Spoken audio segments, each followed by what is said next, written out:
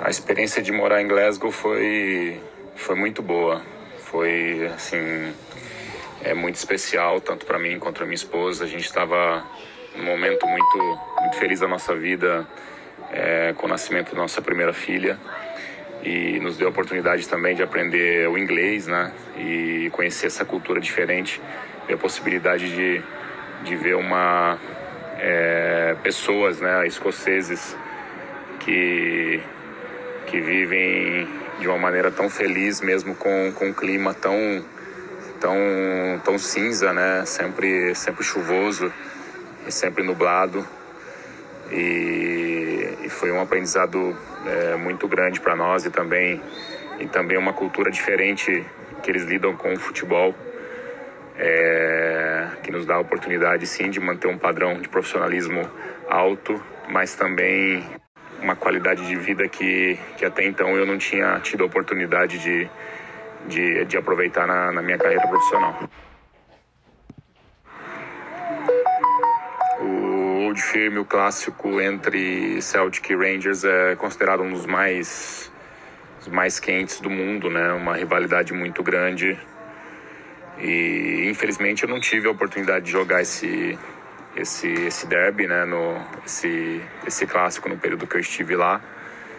Mas eu tive a oportunidade de, de acompanhar, de, de saber histórias de, de companheiros de, de clube, profissionais que dentro do Rangers trabalhavam e falam que realmente é uma partida muito, muito especial, vivida com muita intensidade pelo, pelos torcedores lá. Sim, é, eu sou católico, né? Nossa família é toda católica e, e sinceramente, é, o torcedor do Rangers não te faz é, sentir nem em nenhum momento esse peso, né?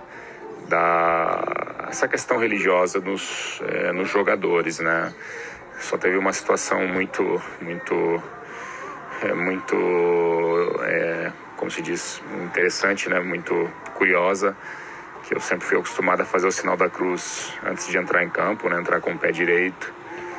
E, e no primeiro jogo, é, quando eu fiz esse gesto, eu fui orientado pelos dirigentes que, que ali dentro do, do Ibrox é, era melhor evitar, mas assim, é, em relação ao futebol, aos jogadores, ao clube, é, aos torcedores, nunca te, te fazem pesar essa situação, essa questão, essa questão religiosa que, que é muito respeitada.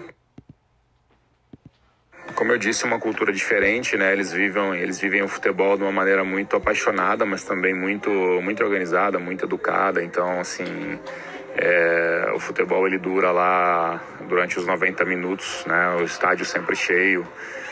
E só que acabou o jogo, os jogadores podem viver de uma maneira bem tranquila. É, não tem, não existe essa pressão é, diária que, que, eu pude, que eu pude viver no, no futebol italiano, principalmente em, em, clubes como Napoli e Lazio. Então, eu vivi com muito mais intensidade né, o clássico de Roma, né, o jogo entre Roma e Lazio. E lá realmente é um clássico que é considerado uma guerra. É, eles vivem durante 365 dias no ano é, o peso e o, e o valor desse clássico entre Lazio e Roma, né? Já, já na Escócia é um povo muito mais uma cultura diferente, né? Um povo muito mais tranquilo, mais organizado, é, é mais não tem. É, eu sinceramente é, creio que o, o, clássico de Roma é, é muito mais. É, o, o, os torcedores sentem muito mais em Roma do que, do que em Glasgow.